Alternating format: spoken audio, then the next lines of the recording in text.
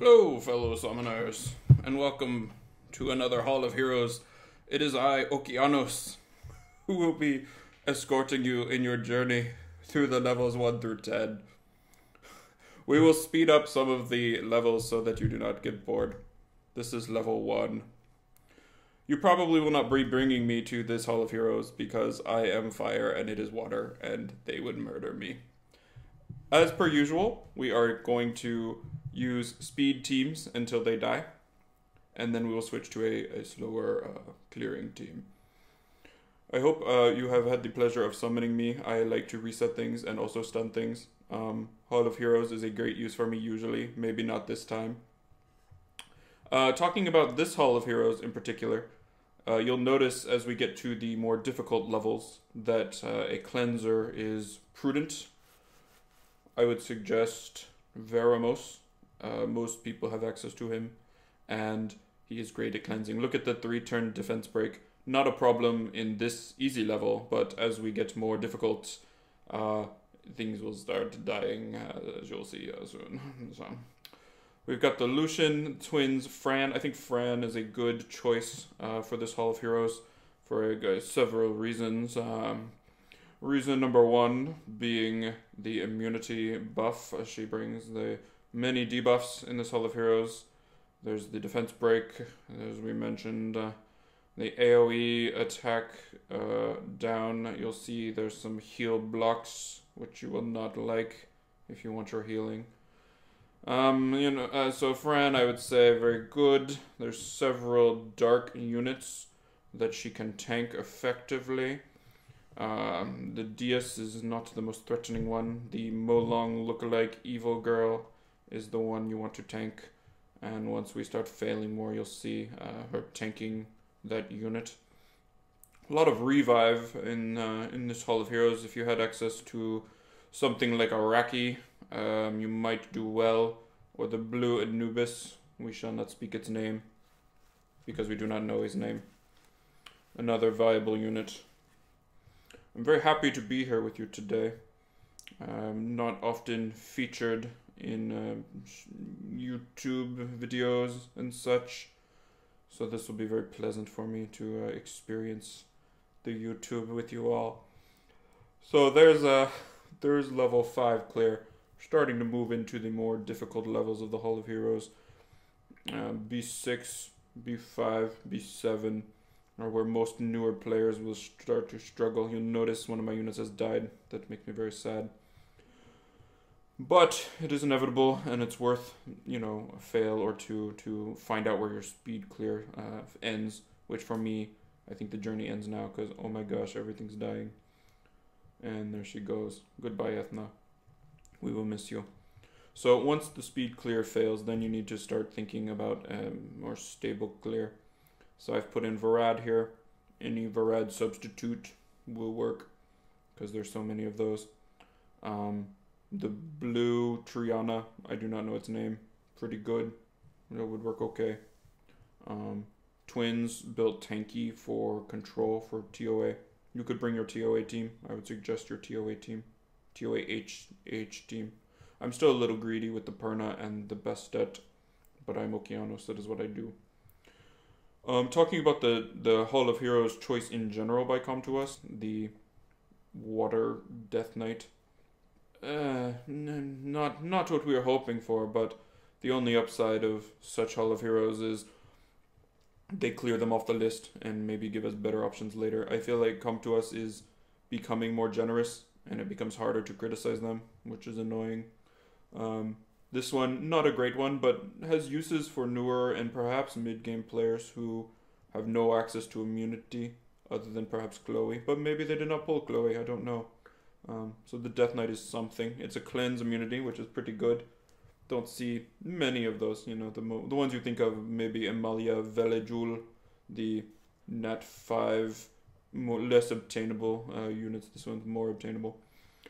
It is also a good option for skilling up your Dias. Um, people are using the Dias unit in um, raids. Very nice choice. I like the Dias unit. Um, you can skill him up. Save one for sure, regardless. You're always going to want one. Um, the family as a whole has some issues. Okay, so we cleared B6. That's nice. Let's move on to B7. Get some energy. I'm already paranoid. I bring in Veromos. These are going to start taking a long time because the attack buff is still here, but the shield is gone, and I'm just not dotting or anything. I like the Ethna just for the defense break. Um, I feel like a defense break goes a long way. But anyway, let's talk about the family as a whole.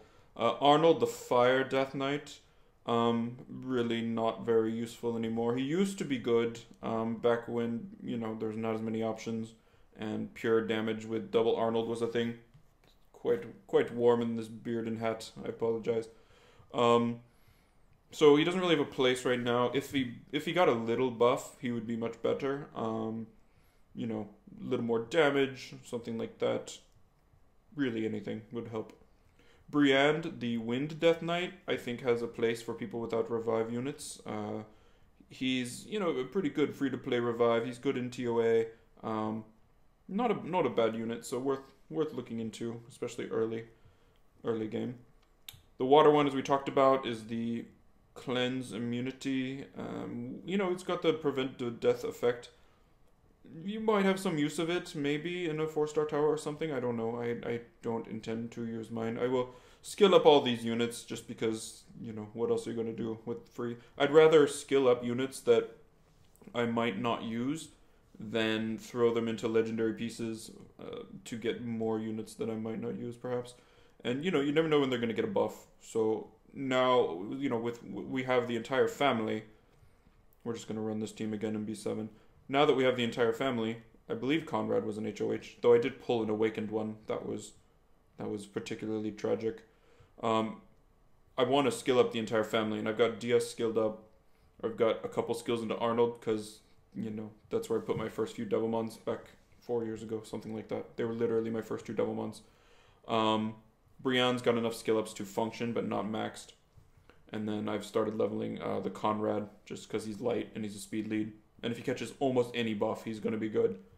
Because a speed lead that's, you know, it's, it's almost hard to make a speed lead that's not usable. Um, so if he can catch any sort of a buff, he might be okay. So maybe they'll do that. Um, you know, DS we've talked about. I think that kind of sums up everything. DS is a nice frontline unit. They buffed Darion past DS, I would say. It's it's debatable. They bring a little bit of a different kit, um, but Darion provides more mitigation, five percent more mit- mitigation in R five.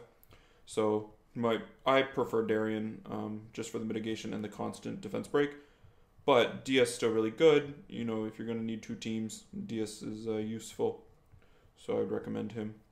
So that's pretty much it on the on the family. I think the light Death Knight looks super cool. I think the dark one looks cool too. So it would be nice if they would consider making them useful. Though making four stars useful is tricky because as soon as you buff one a little bit, it overtakes a nat five, and then everyone freaks out. totally freaks out. Like look at the Garo versus Leica comparison. I mean, I think Garo is better than Leica in almost every way, which is sad because Leica's an nat five, and you know you want that to be a feature unit on your account. Um, but Garo got a little bit of a buff, and suddenly he's a speed lead with harder to kill, with speed scaling, with crowd control, and Leica is slower, terrible lead, no crowd control, less damage, and dies faster. So yeah, if you buff, you know, if you buff Fedora slightly, he'll overtake some Nat 5 counterpart, you know. So they got to be careful with that. It could be a disaster.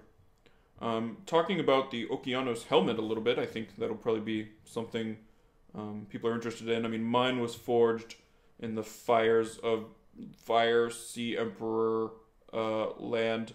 Not it doesn't make a ton of sense that I'm from the sea, but I'm fire. But it's okay. Don't worry about it. Um, I'm gonna say maybe from like underwater magma. Magma. We die again. Oh no. What a disaster. We put in a reviver because they keep killing me. And I think that's fine. A reviver I would recommend later on. Maybe Briand.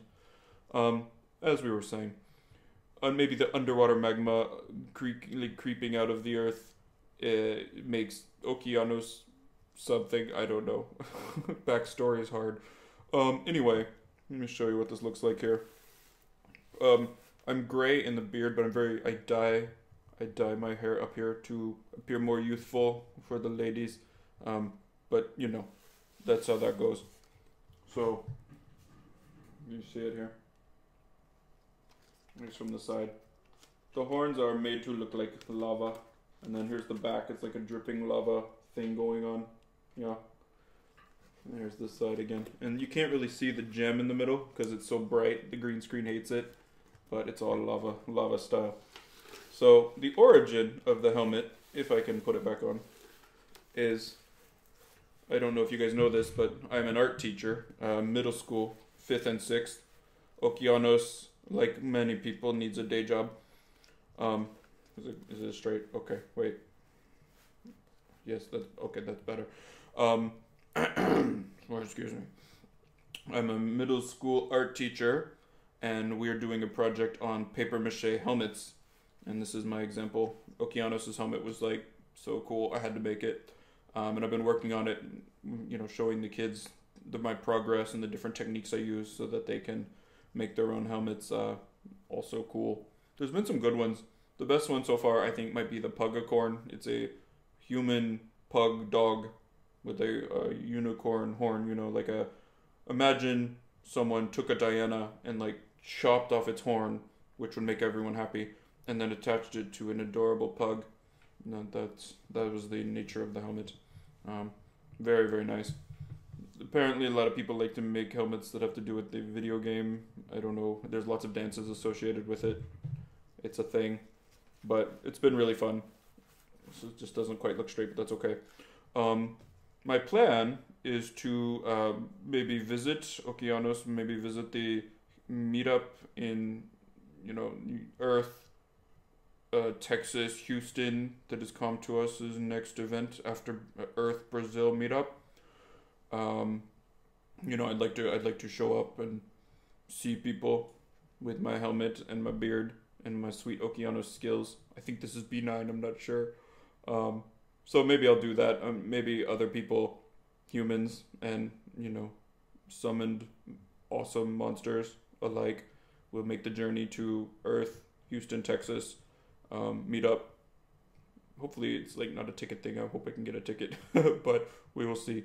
Oh, that's B nine. Okay, cool. We get to talk for one more B, B ten. That will be our final B. I'm pretty sure I cleared this in one shot. So you know, OP. Really, I should have I should have appeared myself in this uh, Hall of Heroes, but I have more interesting things to do, like not reset Hathor in in uh, RTA. Um, you know, fail to stun people, get bombed, try to throw it back, fail. Sometimes I do it, but mostly I like to keep the bombs for myself. They're pretty cool. Um, so that yeah, that's my plans. My my current plans. I guess I could repaint this to be a different emperor, but I'm trying to think which one would be I mean, I don't know that there's a better one. The blue one, Poseidon, Triton, no. Yellow, I don't think would look good. The lava, fire, dark. That's that's the ticket, you know. That's how people like to look. And um, fire, sea emperors as well. Have you seen those lightning emperors? What are they kidding? Those are no emperors of mine. Best emperors are from the sea, not lightning. It's ridiculous. They don't even have good beards. Pretty sad and they just take people's things you know like oh i take your i take your immunity and then i get knowledge they don't look that smart to me for all the knowledge they gain the best way to deal with being people and monsters is to reset them reset them boom boom reset not take their things slowly heal yourself pathetic and then the fire one Baleygr. what a disaster that is huh He's supposed to be the the good one that people get, and he does nothing. He just destroys a little bit. So sad. Oh well, we cannot all be sea emperors of fire. We are the best. Nat five. This is really fun being Okeanos. Uh, you probably enjoy being your own human self as well. But being Okeanos, I highly recommend it if you have the op- opportunity. Um, really, what I need is like a trident. Trident. Um, but I do not have one. I only have a helmet. I don't. I don't even have shoulder pads yet. That's very sad. But I think I could probably manage a cape, even though capes are generally ill-advised. I like. Uh, I like that I gain attack bar when I stun people, but I don't like immunity. I wish um, immunity was not such an issue. Maybe maybe I need like a Gianna to help me with that issue. Notice here in this level, um, the dark evil sylph creature thing, it targets my Fran, which is great. Um, because my Fran is pretty tanky. And then if it were to kill the Fran, uh, the Eladriel will be there to help. If you do not have an Eladriel, I would recommend perhaps a Briand Platy. Oh my gosh, we're almost done. I better slow it down. Or maybe even like a Triana to prevent the death. Something like that. I don't know. You need something like that. But yes, for this Hall of Heroes, immunity, cleanse, CC, normal. It's a very normal, normal Hall of Heroes. Um, not too, not too much DPS, not too threatening. The one level where they try to murder you in one shot, that's the only real problem. Um, and then if you catch the defense break from the Anavel, that's the other problem. Those two problems, two only problems. Yes. Um, anyway, I hope you enjoyed my presence here and my escorting you through the Hall of Heroes. That is Bees one through Bees ten, um, all complete on auto. Only two fails, so you know that's how we roll. Until next time. Take care. Okeanos out.